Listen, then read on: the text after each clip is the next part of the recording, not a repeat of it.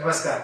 माझं नाव डॉक्टर संदीप बिबटे आणि मी ब्रेस्ट कॅन्सर सर्जन म्हणून कार्यरत आहे अपोलो कॅन्सर हॉस्पिटल नवी मुंबईला.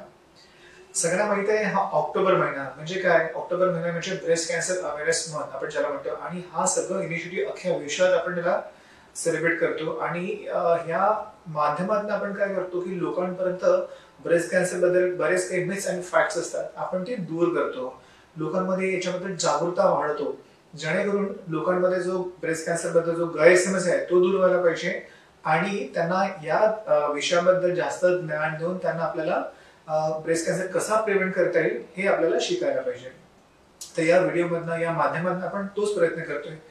सगळ्यात महत्त्व म्हणजे ब्रेस्ट कॅन्सर कशाने होतो? याचे सिमटम्स काय? याचे लक्षण काय? किंवा कुठल्या कारण याला प्रिव्हेंट करता येईल? याला कुठली सर्जरी अशा बऱ्याच गोष्टी पेशंटच्या किंवा सामान्य लोकांच्या मनात असतात त्या.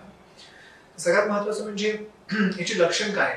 तर ब्रेस्ट कॅन्सर म्हणजे कुठली पण स्तनात गाठ येणे. ती गाठ कशी असतात पेनलेस आपण ज्याला म्हणतो की न दुखणारी गाठ निर्माण होणे. आणि ती चिरकाळ बराच वेळापासून असते हार्ड डब ज्याला म्हणतो.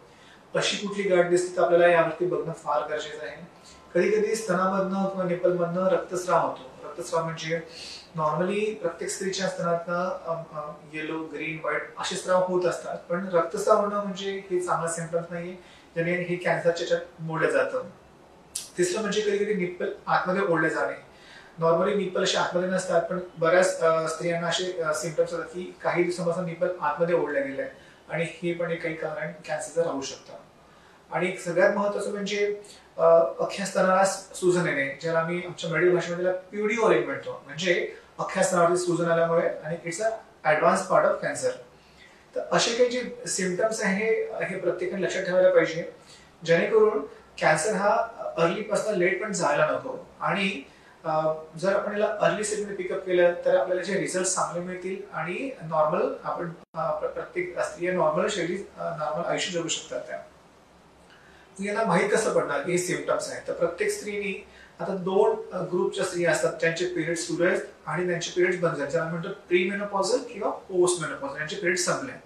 तर कसं प्रिव्हेंट करायचं? तर सगळ्यात महत्वाचं म्हणजे ज्या स्त्रियांची पाळी झाली आहे एक ते पाच दिवस. सहाव्या दिवशी त्या स्त्रीने स्वतःला ब्रेस्ट सेल्फ एक्झामिनेशन करायचं म्हणजे स्वतःहून. तर त्याच्या काही टेक्निक्स आहेत त्या बऱ्याच ठिकाणी अवेलेबल आहेत युट्यूबद्वारे वगैरे. त्याला म्हणतो आपण सेल्फ ब्रेस्ट एक्झामिनेशन तर त्या सेल्फ एक्झामिनेशन करत करत त्यांना हे कळेल की ही गाठ कसली आहे आणि ही कधीपासूनच्या स्तनामध्ये आहे आणि ही हार्ट आहे की नाही आहे असं काही डाऊटफुल वाटलं लगेच त्या स्त्रीने डॉक्टरला दाखवायला पाहिजे. आणि ती एक्झामिन कधी करायचं? पहिले पाच पिरियड संपले की सहाव्या दिवशी एक्झामिन करायचं. आता ज्या स्त्रियांची पिरियड संपले त्यांना मेनोपॉझल पोस्ट मेनोपॉझल त्या स्त्रियांनी कॅमेरामध्ये एक तारीख फिक्स करायची. कुठली पण महिन्याची एक किंवा पाच तारीख कुठली पण तारीख. आणि दर महिन्याला ते एकदम करत राहायचं.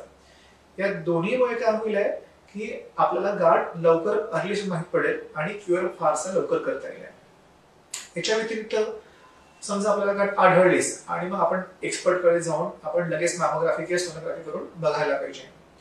आपल्या लोकांमध्ये बरंच हे आहे की त्या स्त्रिया त्यांना असं वाटतं की ही प्रत्येक गाठ साधी गाठ असेल आणि इग्नोर करतात.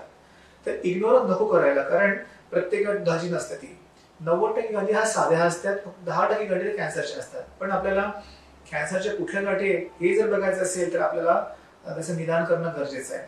तर सेल्फ एक्झामिनेशन आणि सिमटम्स हे सगळं महत्त्वाचे आहे. या उपक्रमाद्वारे आपण हे सगळं करून आपण ब्रेस्ट कॅन्सरला अर्ली स्टेजमध्ये गाठू शकतो आणि याचं कम्प्लिटली क्युअर करू शकतो. थँक्यू